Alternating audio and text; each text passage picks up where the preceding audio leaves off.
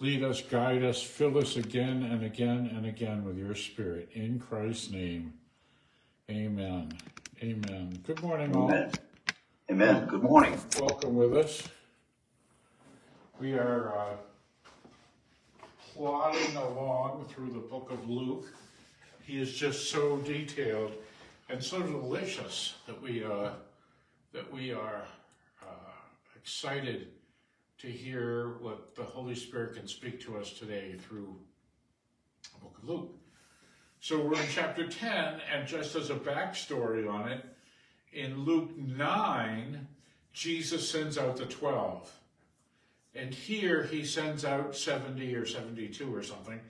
Um, and but the 12 only went to the tribe of Israel, and the 72 are going to go everywhere that Jesus is going to go between now and the triumphant entry. So, uh, what happened between 9 and 10? Well, the, the, the corner has been turned, and he's, he's heading in these next 10 chapters or so, nine chapters, to Jerusalem. And obviously, after that, there's a triumphant entry, a crucifixion, and a resurrection. But now he has we, we see him spending time with the three and the 12, but now we find that there's 70 something in his inner, in his inner circle of, um, of mentoring. Uh, now we don't know who all their names are or whatever. We know what some of their names are, but none of that matters because what we know for sure is the Lord chose 72 other disciples and he sent them out in pairs Go ahead. So we'll pick it up in New Living in chapter 10 and verse 1. Right. New Living 10 1. Uh, Jesus sends out his disciples. The Lord now chose 72 other disciples and sent them ahead in pairs to all the towns and places that he visited. Uh, the, uh, that he is to visit, actually. Uh, these were instructions to them. The harvest is great, but the workers are few. So pray to the Lord who is in charge of the harvest. Ask him sent, to send more workers into the fields. Okay. Now go and remember that I am sending you out among lamb, uh, out as lambs among wolves. Well, let's let's back off a verse on that. Let's talk about the uh, about the first. Uh, the uh, camera here. So sends them out in pairs. Why in pairs? Why in pairs, Rich? Well, uh, you can give a number of answers to that. One is that two is the number of the adequate witness. Yes. Um, it is a. Um, it's also a. Um, I mean, this is this is the uh, the method that he's he's used in the past for whatever that's worth. Doesn't mean.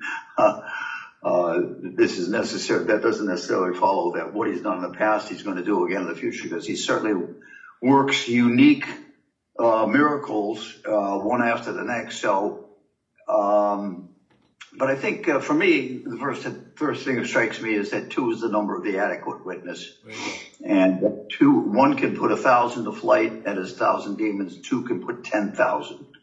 So there's a multiplication factor there that, uh, in terms of um, dealing with demons, that's uh, we can find support for elsewhere in the scriptures. Good morning, Barbara. Welcome with us. So also, one can be praying and the other can be speaking, and then and then they can take turns back. And so, and so essentially, one person has your back while you're doing the thing up front. So one person is obviously speaking, but the other one is the power pack because he's praying or she's praying. Um, so he sent them out to towns he planned to visit, uh, two by two, and his instructions to them were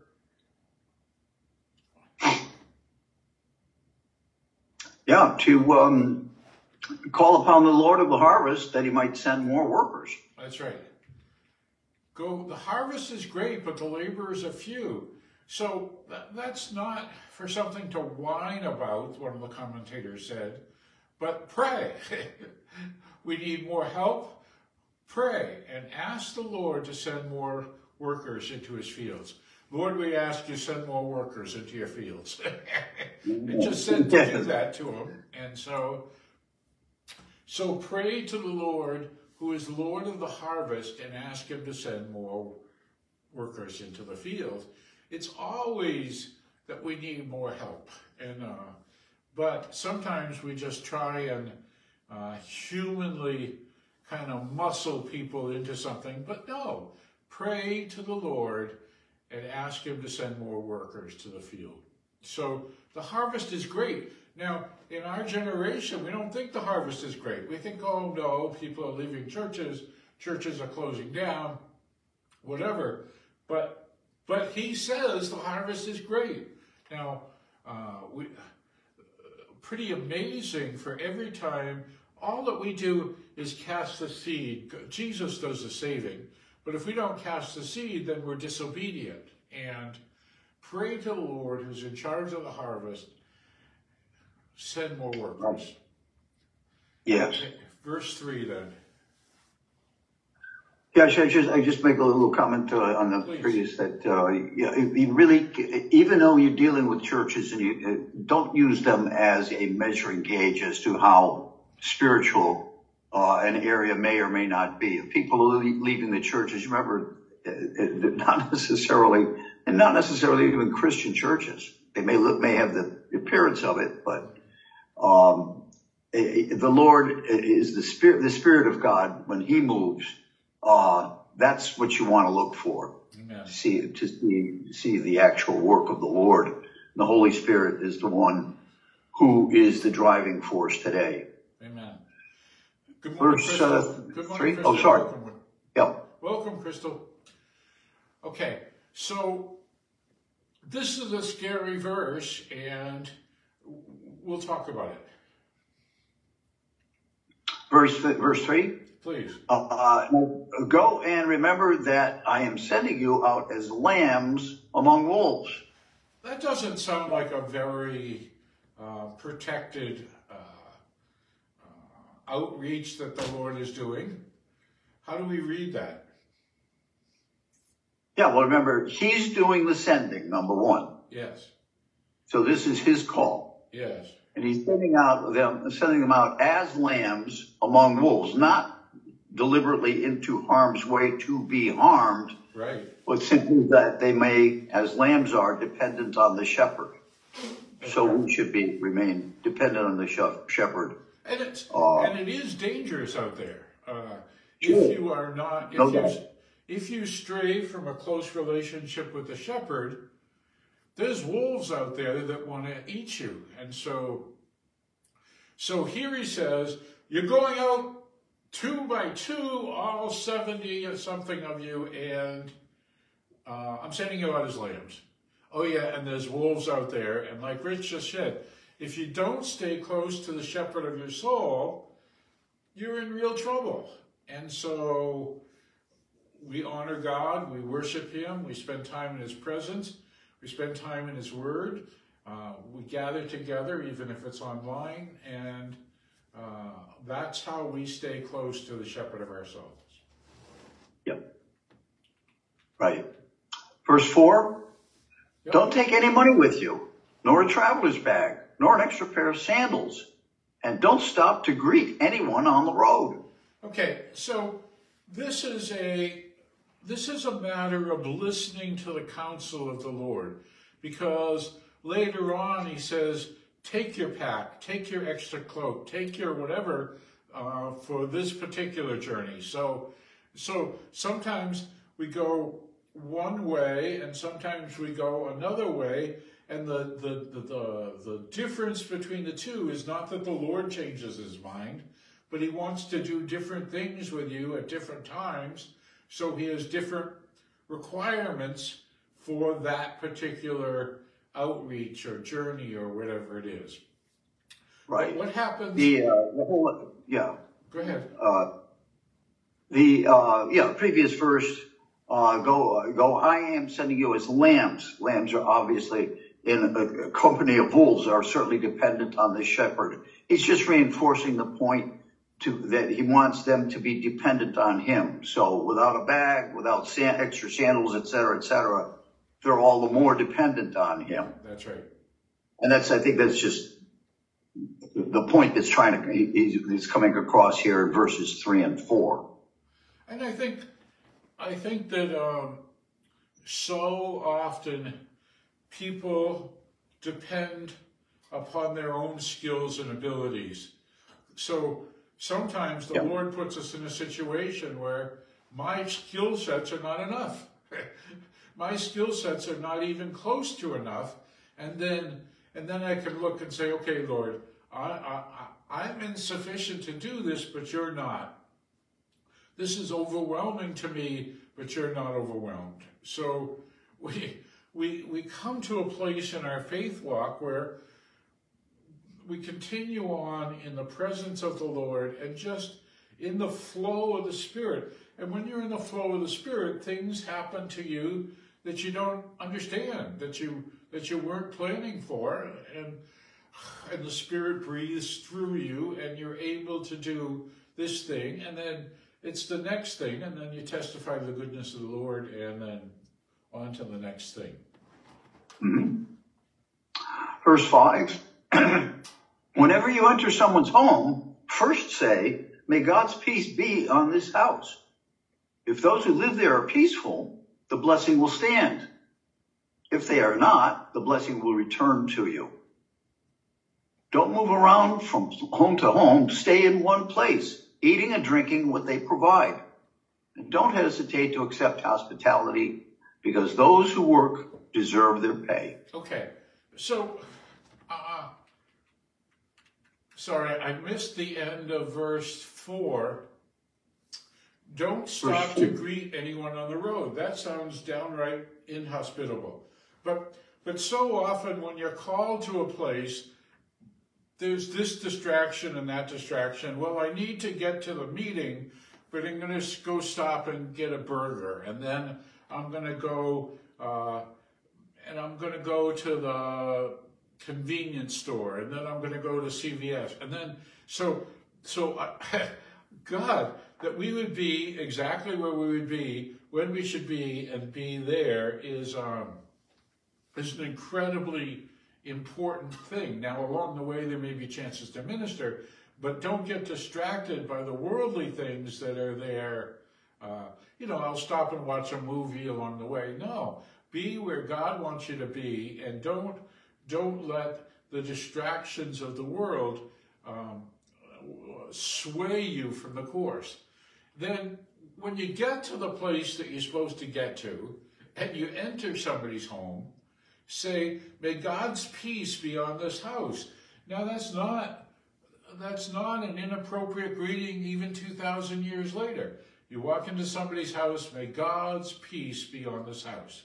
And, and by the way, every house in America needs God's peace, and every house in the world does.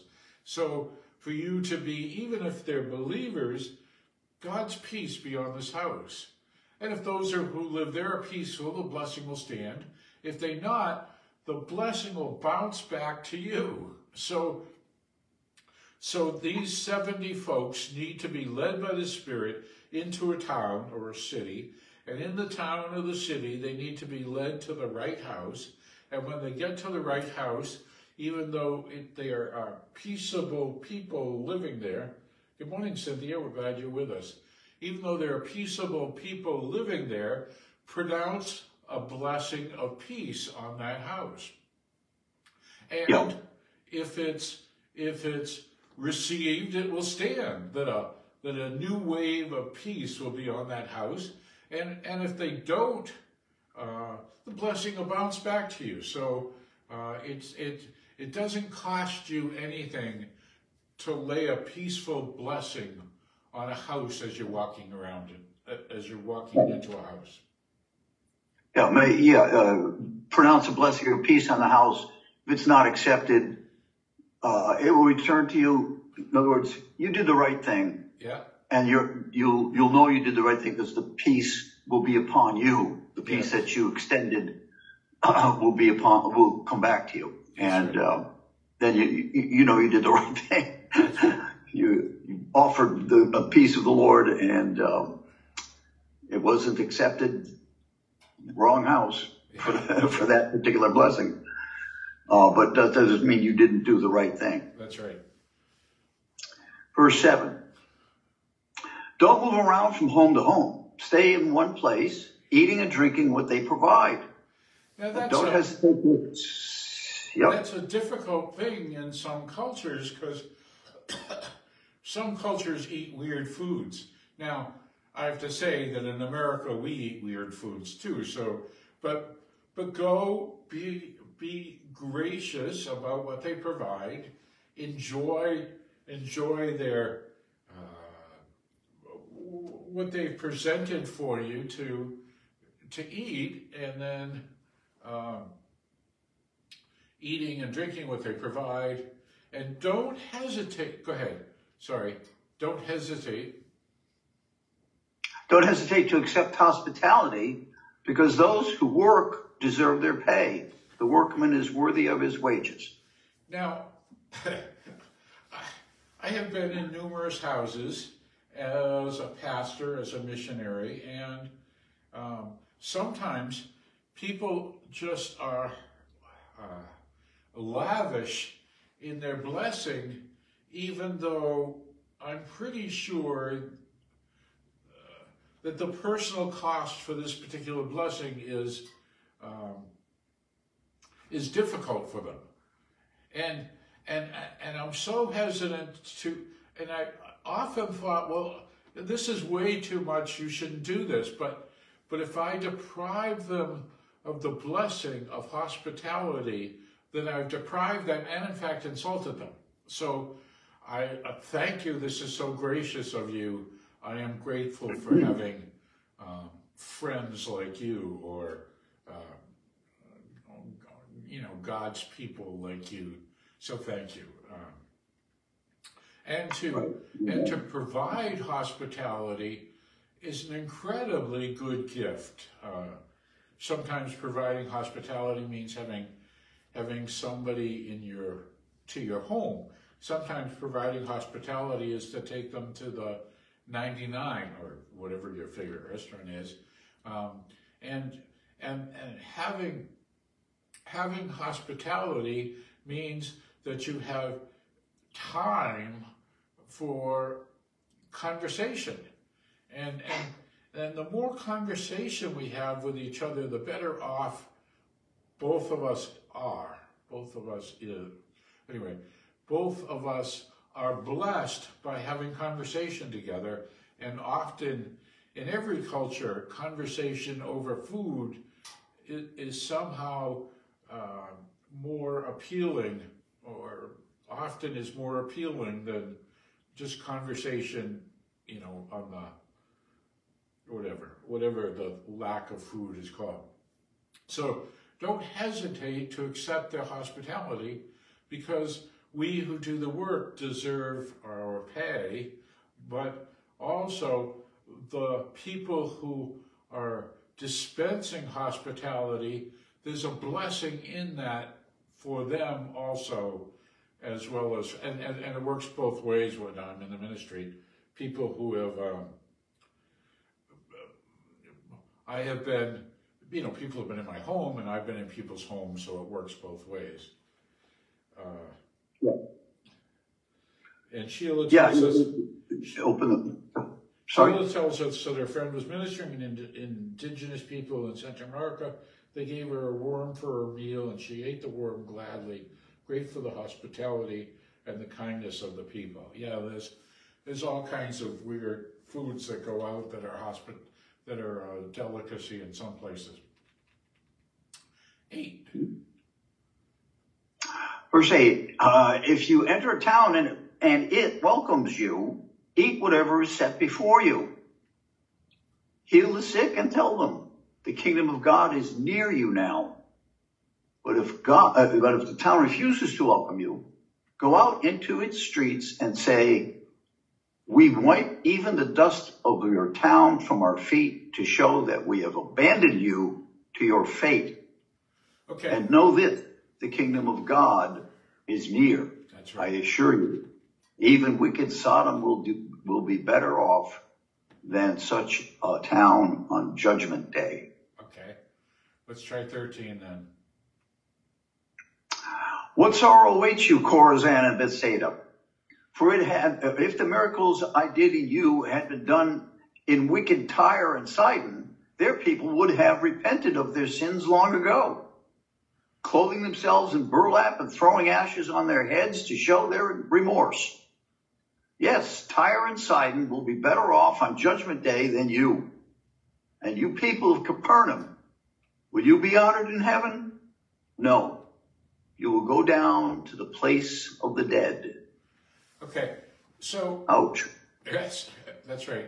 So we have the the miraculous things done in these cities are just so are just so overwhelming and, and and the people know that Jesus is the Lord of the miraculous but for some of them it doesn't matter oh that's fine just go do whatever you do so it's not just a flat out rejecting of Jesus it, it's uh, one of the commentators was talking it's just apathy toward him uh, he is the Lord of all, and he deserves our worship and our glory. And if the people say "Que sera, sera," whatever will be, will be, that's a uh, that's a curse that brings down on them essentially the judgment of God. Now, we don't just because somebody rejects the message the first time around doesn't mean that they're hopeless. It just means that if they continue in that state, that will be really troubling for them. Yeah, that's uh, that's the way of death. That's right. The place of the dead, Hades. It's not hell necessarily, but uh, uh, it's a place of no life, and uh, that's not the path you want to take. Um, Eight, 16. so, verse sixteen. Then he said to the disciples, "Anyone who accepts your message is also accepting me, and anyone who rejects you is rejecting me." And anyone who rejects me is rejecting God who sent me. Wow. So now, let's not get arrogant with this. God has sent you on a good and godly message. Now, if you're annoying, obnoxious, prideful, or whatever, um, that's not that they're hating the gospel, they're hating uh, your arrogance. Uh, so, or my arrogance, however it works. So, um, so to say, okay, God's judgment is on you because you don't like me, be careful with that. But but the but as the gospel goes out in pure, in lovely, in joyous uh, tones, then the people have a chance to hear it or not. And if they don't hear it, they're in trouble. And if they do hear it, it's a glorious opportunity for new life in them. So, what an amazing uh, 10th chapter of Luke this is, even so far, and it goes obviously beyond this. So, he sent out 12 yesterday, I mean, last chapter. He sent out 70 this chapter.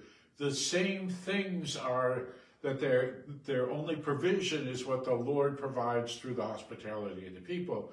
The difference is it's going out to Gentiles as well as to Jews, and the number is bigger, so the impact is bigger, and then uh, and we'll see how their how their mission trip works, short-term mission trip works uh, in in tomorrow. Lord, we thank you that you've sent us out on long-term and short-term mission trips. We would ask that we would be all that you would have us to be, that we would speak from your heart, that we would walk in your joy and your peace and your power. Bring glory to yourself through us. In Jesus' name. Amen. Amen, amen. Blessings to you all. See you tomorrow, Lord willing. Walk in abundance. Amen. Bye bye.